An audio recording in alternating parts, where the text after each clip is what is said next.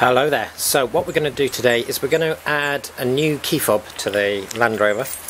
So at the moment we have the existing keys and what we're going to do is just add a new key fob that we've bought on eBay.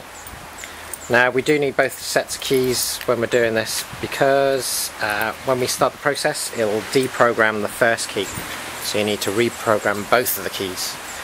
And what we also need then is a tool like this. So this is the NanoCom uh, you can also use things like a Hawkeye and there's a few others about. The Nanocom is a brilliant bit of kit and if you've got a Land Rover TD5 or, or later you should really have one of these. It's superb and it'll get you out of trouble. So we're now in the car and I've got the Nanocom plugged in and started. It only takes a second to start but instead of you sat there watching I thought I'd start it up beforehand and we'll go into the TD5 Defender and we want to go into the AS10 system which is the alarm and immobilizer and door locking system. And what we're going to go to is the next screen and we're going to go to utilities. And it's the pip learning so the pips are the keys. So we'll start that.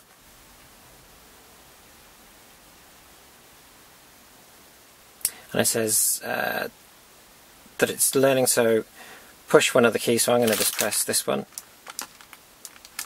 and you'll have to push it a couple of times until you hear this horn sound. There we go. And then we do the other one. And there we go. So that's as easy as that. So both keys now lock and unlock the car. So if we just come out of this,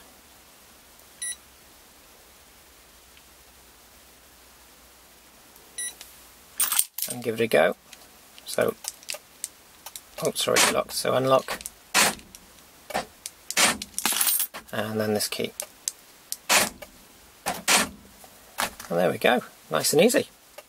If you like this, then please subscribe, and there'll be more videos about Defenders and Discoveries and Minis and MGs and VWs and everything else I've got in the garages. So yeah, subscribe, like, and I'll speak to you soon.